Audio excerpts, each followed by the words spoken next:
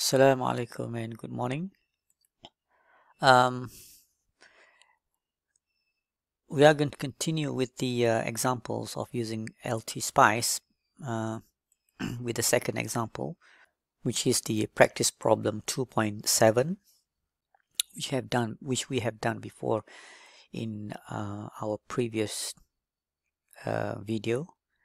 So if you have not uh, seen or watched the video yet uh, please watch this the video which solves this problem first before uh, you can proceed with this uh, video of using LTspice. Okay, so the circuits that we are going to simulate uh, and verify the answer that we have here, which is uh, I naught and V naught, which is equals to 6.92 and 13.84 is shown here.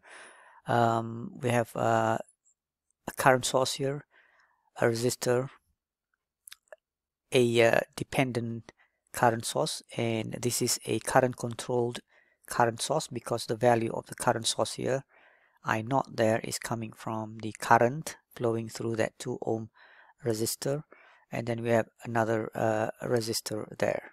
Okay so as before we are going to build this circuit first and then we're going to uh, set the simulations the type of analysis that we want and then uh, finally we can uh, simulate and verify uh, the uh, circuit. Okay so to uh, open a blank schematic as before you just press that new schematic there. So this is where you can place all the uh, components here. I have a couple of resistance so I'm going to place the resistance first. We have one and we have another resistance here. Press escape to um, end the mode. And then I'm going to place the uh, current source independent current source. There is no shortcut menu for the uh, independent current source. You have to go to the component list here. Scroll to the left sorry the right um, no. Yeah there is a current here. That is actually a current source right? If you're using a voltage as before we go to the left we have a voltage source. So if you go if you want to use the uh, simulate the current source independent current source then that is the one that we are going to use. Um, as before this current source can simulate not only DC but other type of source such as AC pulse, sine, piecewise linear, exponential and so on. Okay, so for this uh, particular example we're just going to use it for just for the DC. So go ahead and place the current source here before you press the click the right hand button of your mouse you can rotate it first because you can see that in the circuit that we want to simulate the arrow is pointing upwards but here we have an arrow pointing downwards. So you just press Ctrl and R together twice to rotate it 180 degrees so that the arrow now is pointing upwards. And then press the uh, mouse and then press escape to uh, end the mode. Alright and then we have to add the uh, uh, dependent source here, which is the current controlled current source. Uh, you go to the component list here and the current source or the dependent current source can be simulated using that B there, which is the arbitrary behavioral current source. All right. If you if you want to simulate the uh, dependent voltage source, then you use BV, which is the arbitrary behavioral voltage source. Okay. For so for the uh, current source, we use that one B1. Press OK, and then the directions of the current is going downward. So this uh, same directions as what we want. So click there and then escape. Um, zoom out a little bit and then I'm going to arrange this a bit further from there. And then uh, okay. So now we can connect it using the wires. Uh, they are all connected in parallel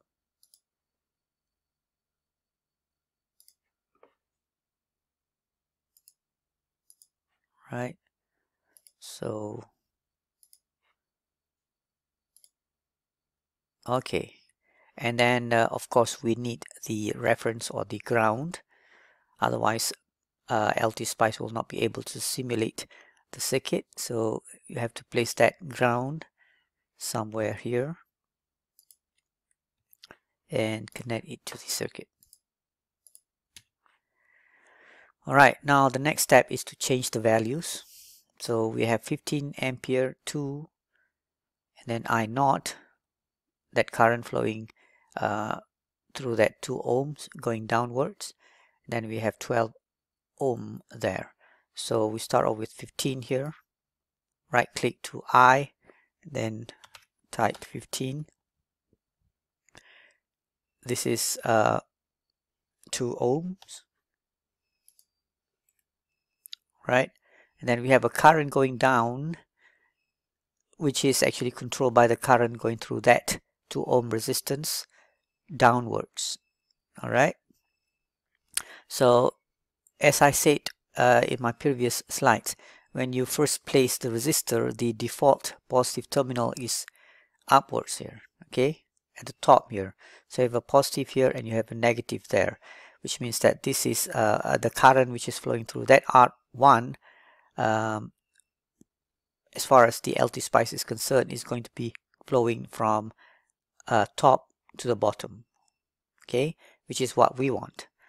So to change the uh, variable which controlling that current source you just right click that I equals to F there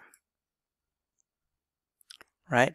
And then you change the expressions of that I there so I want the current to be controlled by a current flowing through R1 so what I do is I just use I and then bracket R1 okay?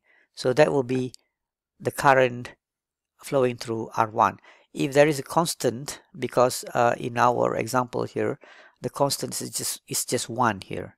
Okay uh, let's say that instead of 1 there is 0.5 or 3 uh, whatever the constant is multiply with I naught to give the values of that dependent current source then you have to you can do that by adding a constant here. For example 3 times I uh, naught which is flowing through that R1 and so on okay? But in our case the uh, it's just a 1 a multiplications of 1 so you just leave as it is I equals to IR1 press OK and then this will show you that the values of this dependent current source is actually equals to the current flowing through R1 and it is going downwards because the positive terminal of R1 is at the top here. Okay and then we have uh, 12 ampere here.